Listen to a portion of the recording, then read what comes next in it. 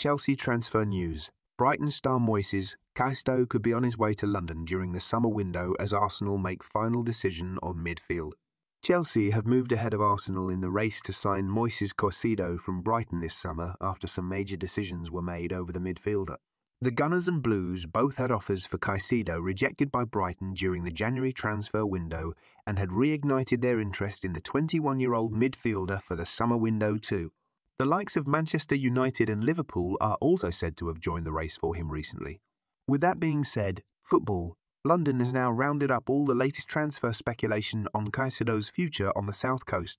With a move for Moises Caicedo potentially costing a hefty fee for Chelsea, the idea of swap deals with Brighton continues to be touted. According to Fabrizio Romano, striker Armando Broja won't be included in any deal after reports link the Cobham Academy graduate with a move to the Seagulls. A report from The Guardian does claim that Conor Gallagher could be included in any deal, though, while the future of Levi Colwill is also in discussion.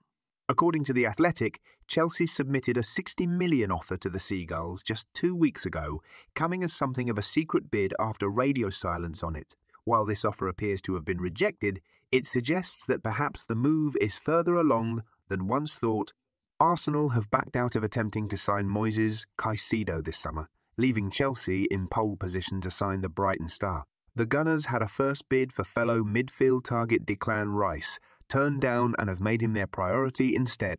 According to The Times, Arsenal have withdrawn themselves from the race to sign Caicedo, but instead Manchester United have taken their place.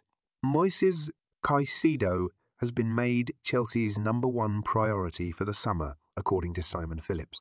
The Brighton midfielder appears to be a key target for incoming manager Mauricio Pochettino, who has reportedly given the green light on a potential deal. Unless there is a miracle, Chelsea won't be landing Declan Rice this summer. It's not over yet, Phillips said on Chelsea News Company.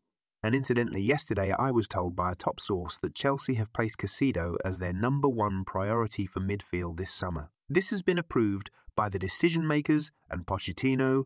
Chelsea want Cossetino, Chelsea, and will move for him very soon.